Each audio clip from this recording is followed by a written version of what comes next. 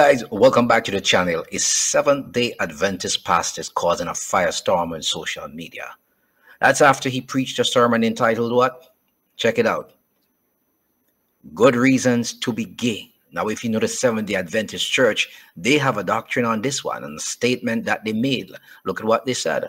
Seventh day Adventists believe that sexual intimacy belongs only within the marital relationship of a man and a woman. So, why did Pastor Ron Kelly? Preached a sermon entitled Good Reasons to Be Gay. Good reasons to be gay. Number one, you were born that way. This has become the uh, this has become the deceit du jour of our modern age. Now, several could not be at our Jesus and holistic sexuality. But I want to tell you right from the very beginning when Dr. Julie Hamilton, a non Seventh day Adventist, PhD, licensed marriage and family therapist, stood behind this pulpit for her very first presentation in our leadership sessions. I have never listened to a Bible believing Christian, a Bible believing therapist, an academic say so many powerful, positive, encouraging, culture defying things as this woman said. And if you miss that presentation, you have lost in the armor of God the sword that you need to defy the lie that you were born that way. She spent the first 15 minutes talking about what the Bible has to say about this. She didn't go straight to the latest science. She didn't draw on all of her life of experience only. She spent the first 15 minutes reminding all of us that no matter what the science says, the Bible is the touchstone of truth. And it is the, it is the illuminator of error.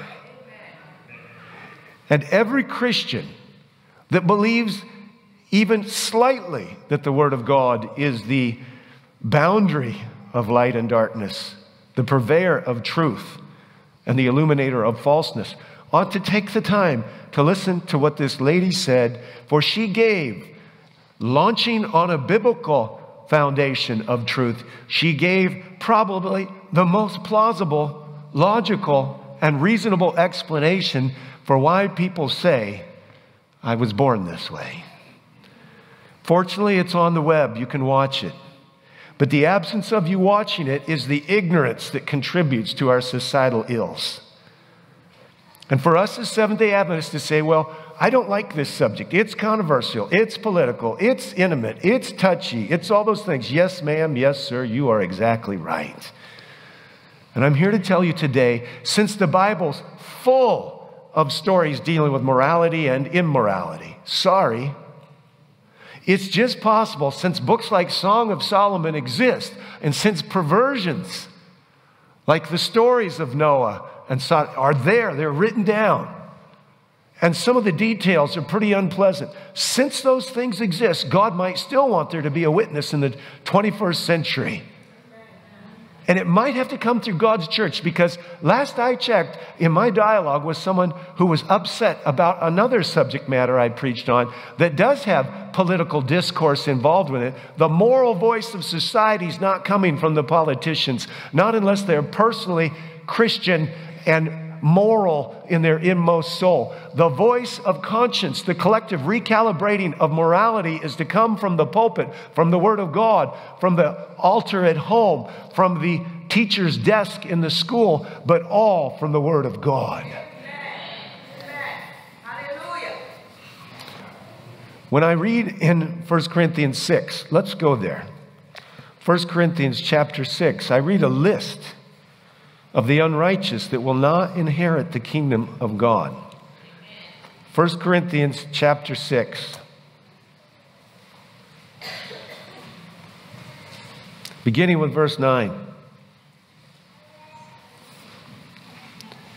It says, Or do you not know? Now, if there was ever a church to mirror our modern day, it was the church in Corinth. Confused, ignorant, debauched, celebrating their supposed grace, which was license, liberty, and enslavement. If ever there was a book that was hard hitting, heavy for the pastor to write, and maybe heavy for the preachers to preach, it's these two books. Paul will have to tell them in the beginning, by the way, and this would be good for the audience that tunes into Village. You say you're of Cephas. You say you're of Apollos. You say you're of Paul. Listen to me, audience that tunes in. Listen to me, audience here sitting in the pews. Paul will tell you Did any of these men die for you? Your allegiance is not to God through them, your allegiance is straight to God through the Lord Jesus Christ. It's not whether some well spoken preacher says it or another one disagrees. You're going to stand before God. And he will go also on to say, You're unconverted, you're babes, you're carnal. This is strong talk. Verse 9 Do you not know that the unrighteous will not inherit the kingdom of God? Righteousness and unrighteousness is a dynamic of biblical definitions heavenly judgment, and by God's grace, heavenly intervention to take a dark heart, a stony heart, and make it live, make it full of light. Don't be deceived. Neither fornicators nor idolaters, and by the way, those two things went hand in hand in Paul's day. It was a very should I say, eye opening experience when a few weeks ago I walked through the Ark encounter. And there on one of the three floors of the Ark are the Old and New Testament temple prostitutes.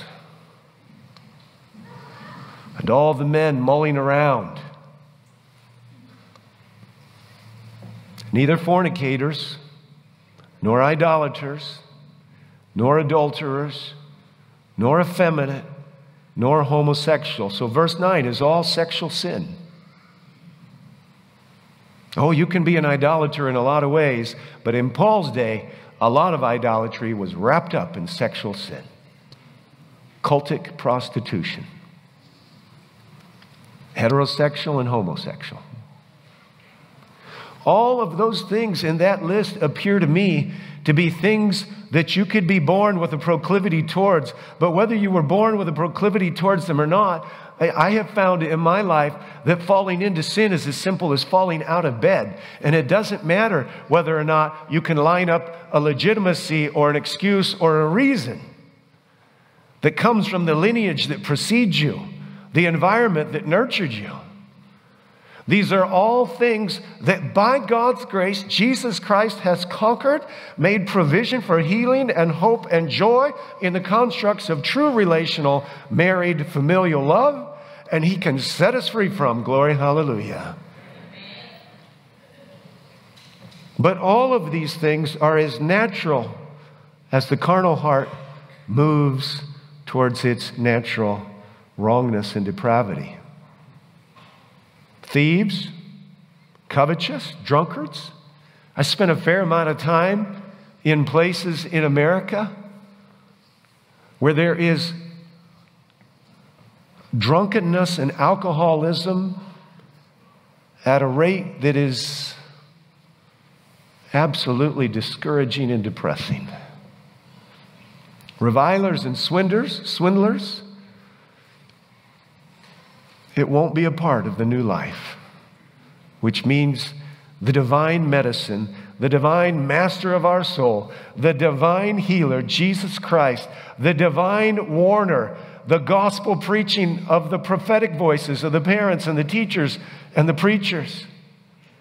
They are to call people to an awareness that the naturalness of sin, which is so deeply rooted in our hearts, will not be allowed in to the supernatural restoration of the family made new through the one who bore it all to Calvary and has lifted us out of our depths and degradation from the uttermost to the guttermost. There's a God who said, I'm coming down, I'm lifting up, I'm delivering. Such were some of you, but you were washed, you were sanctified, you were justified in the name of the Lord Jesus Christ who rose from the dead. No, it's not in the verse, but it's in his heart and in the spirit of our Lord.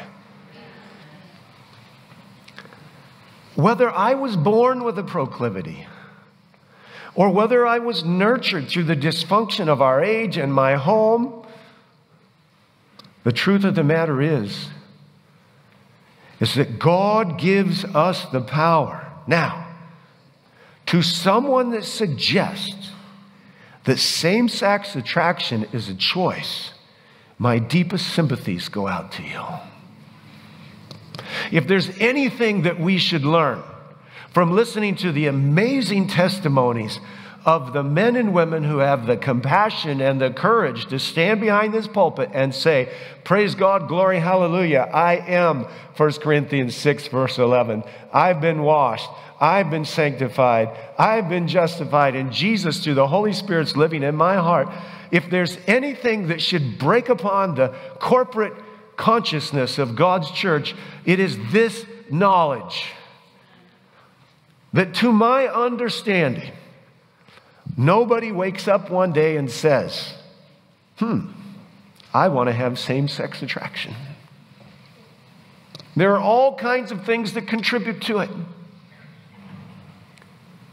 And the contribution of all those things is so vaguely understood by our society, and people are so afraid that it might actually be discovered and unravel the lie. It's like the thread that would take the tapestry of the deception and completely unravel it, that they're slapping everybody's hands. And there's 26 states in the United States of America that won't even allow counselors to talk about it with people who think they want to be different.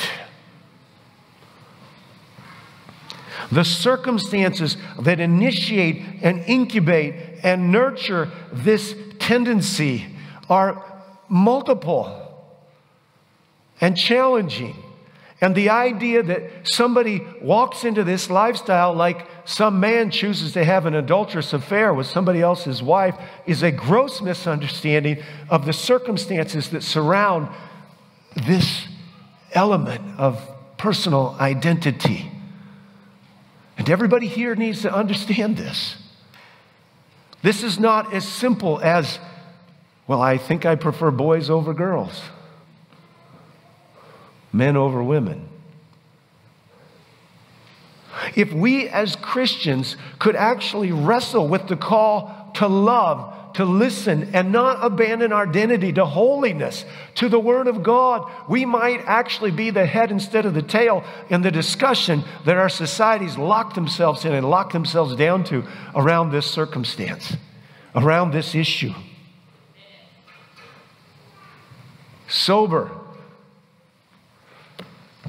I cannot say thank you enough to the men and women who have been willing to fly to this little bitty town in this little bitty out of the way place and talk to the thousands online and those that have sat in this auditorium and share the chapters of their life that they wrestled with for decades.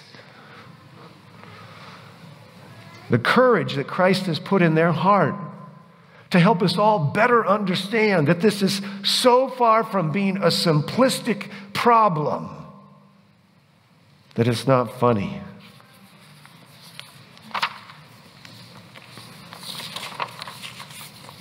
Again, listen to Dr. Julie Hamilton.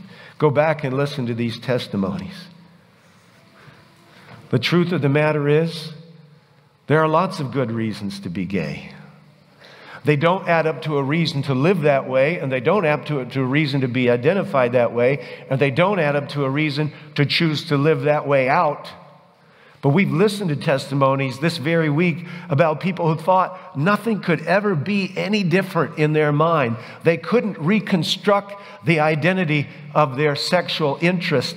But then at some moment, some little movement in their heart, some little step of obedience towards the promptings of the Holy Spirit. And all of a sudden, at some moment in time, there is an awakening inside. Hallelujah is right. But I'm here to tell you when Judith Wallerstein wrote her book, Divorce, a 25 year legacy, and she told us that the dynamics of divorce only multiply and grow through the life of the adult, let alone the child. Yes, reason number two to be gay is that probably you were shaped and natured that way. And whether it was a sensitive soul that determined it couldn't trust the same gender whether it was defensive detachment or some other form of emotional detachment that made alignment with the emotional security of whatever gender you were of more safe. Whether it was the absence of a man or a woman, whether it was the rejection of your biological identity by an adult that was locked down in their own dysfunction and addiction, we don't know. But we do know more than we used to know. And I want to share my affirmation again for those who have been willing to tell their family stories, their developmental stories. Number three, third good reason to be gay, not only were you potentially born with some proclivities that way, not only were you nurtured by the dysfunction of our society, the breakup of the home, the absence of self control in your mom or your dad, the victimization of some older brother or kid down the street whether or not your sexuality was awakened prematurely in a same sex encounter, all of these things add up to the multiple layers of confusion of person and society. But the third reason, good reason to be gay, is that our society is encouraging it left and right. And they're telling you you should just be yourself. Of course, they have no awareness of a Holy Spirit that speaks individually to people. They have no value for the Word of God that actually, con- that actually directs and lays out the relational laws, the mental health laws that could actually save us from ourselves. I didn't preach here last Sabbath because I was battling sickness. But I want to tell you on Friday, as I'm just driving back and forth between places, I'm listening to National Public Radio, which really ought to be uh, uh, the state religious news network to the new secular society we live in. I listen to it regularly because I, I, am trying to figure out what's truth and error. And, you know, I'm, I'm, I'm listening last Friday and I, I, I, I hear this one. Her state bans gender affirming care for teenagers, so she travels 450 miles to get it. You know, Chloe Cole stood behind this pulpit, testifying in multiple hundreds of places around the world, including our own United States Senate. And to see this 20 year old stand up against the cult religion of transgenderism and sexual expression, however you want to have it. The last question I asked her as she stood here on Monday night was Do you regret any of the price you've paid to stand up to this lie? And boy, did she, as it were, stiffen her little female spine and let us know that her heart has come alive to love in a way that it's never been alive before, and she doesn't have the very first regret at 20 years old, putting her face into the blighting, damning, scornful, hateful winds of those who once affirmed her as she mutilated her body. So I, am listening to this report from National Public Radio. But I've got lots of things to do, and I'm moving around, and I turn my car off and on different times. And finally, when I'm pulling in at about 625 to my home last Sabbath, last Friday, another one comes up. Why books, book bans have been so hard to stop? Well, you wouldn't have to take too many guesses to know why National Public Radio needs to place in its prime time a discussion about book bans because there just happens to be a number of parents out there who believe that certain things shouldn't be seen by certain little eyes until Maybe never, but certainly not when they're in the first, second, third, or fourth grade. And I'm saying to myself, why? In one newscast, do we have to have two segments on something this dark because they are believers and they are out to nurture and encourage every single person to the self determined damnation of self to explore and discover what it is about them, regardless of anybody in society. Like Chloe Cole has said, seen that, been there, done that. Don't go down that road. People change. You do grow up. There you have it. There's a lot of firestorm on the internet as to why he did that. But I guess at the end of it all now, you understand fully. Remember to like, share, and subscribe to this channel for more videos like this. See you next time.